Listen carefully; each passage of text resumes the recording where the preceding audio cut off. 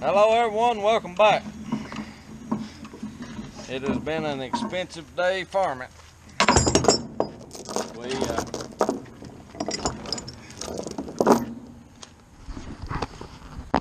we picking the New Holland TN70 up from the tire shop. Had to uh,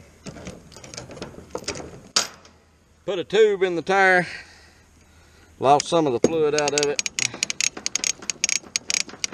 patch the tire, uh, the casing. So I had to get all that done. So fortunately they were able to get to it get the uh, tire fixed. So we're good to go there. Uh, the remnants of subtropical storm Alberto, or whatever you want to call it, dropped several inches of rain last night on us. About, I'm going to guess, approximately uh, a third of the crops we had in the field were flooded, probably destroyed. The uh, so that got a little pricey. I can get that, Levi.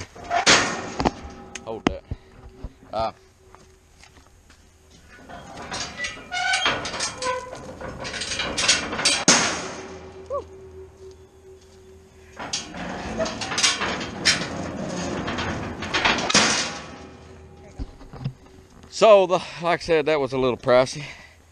Uh, but that's part of farming. Here's the tube that was in the tractor tire. It's junk. It's Got several holes in it. But uh, that's uh, right there's there's one of them. It already been patched once before. And there's another one in there somewhere. But anyhow, that tube is uh, no longer with us. And we have got a new tube in the left tire. Those tires are tubeless, but when I bought the tractor, the rear tires cut up pretty bad. This one's got pretty bad gash in it. So the fix for that was they put a tube in it.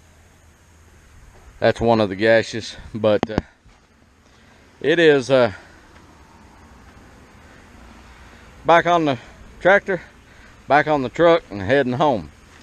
Unfortunately, with all the flooding and raining we had last night, uh, didn't rain today, which is a good thing. It was partly to mostly sunny, but you can see the clouds are building again. Excuse me. But anyhow, that's uh, one of the days that you have farming just part of it. We could have lost a lot more. We, uh, but we didn't. And one of the things that saved us is, uh, uh, we don't have that many crops in the field.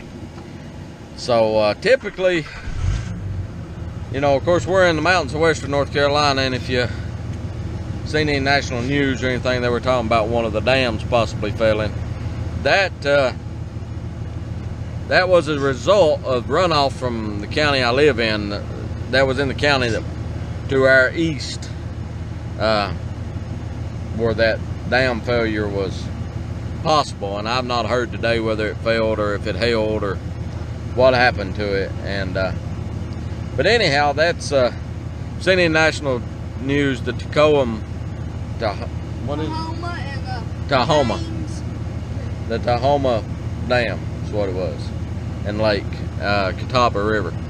But uh, anyhow, we had quite a bit of rain, and we really don't need any more. Fortunately, the weather forecast for next week is looking better, so maybe we can get to it.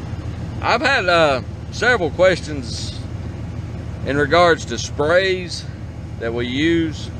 And, uh, you know, if I make any recommendations on spraying or any type of pesticide, whether it be organic pesticide or a conventional pesticide, I would recommend contacting your local uh, cooperative extension program. And uh, if, if you're in the southeastern United States, uh, Texas, Oklahoma, Arkansas, Mississippi, Alabama, Louisiana, Florida, Georgia, South Carolina, North Carolina, Virginia, or Tennessee, Kentucky, they uh, they do have a publish a publication out there that's real handy. It um, they put one out every year, and this year's uh, the Southeastern Vegetable Growers 2018. I think uh, Growers Handbook or uh, Crop Handbook or something like that. It's got a lot of good information in it. Um, there is a uh, version available online, which I will put a link to in the description on this video. But uh, that's a good place to start. Keep in mind on uh, any type of uh, pesticides to uh, contact your local professionals. Uh, rules can vary from state to state as far as what's labeled for the crop and for what use it's labeled for. And uh, also keep in mind the label on those are federal law, so you have to use them in accordance with that label. But I had a couple questions uh, about, you know, what do I spray and stuff, and uh, I don't care to tell people what I spray. It's not that. It's just that, uh, you know, if I'm in North Carolina and you're in Georgia, it may be, it may be different. So, uh, but anyhow, look that resource up.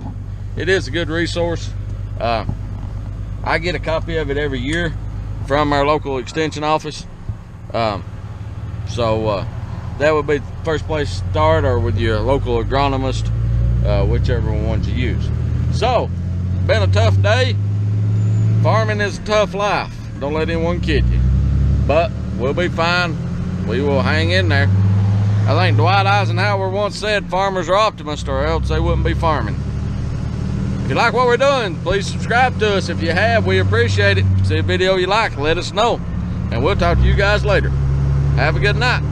Bye.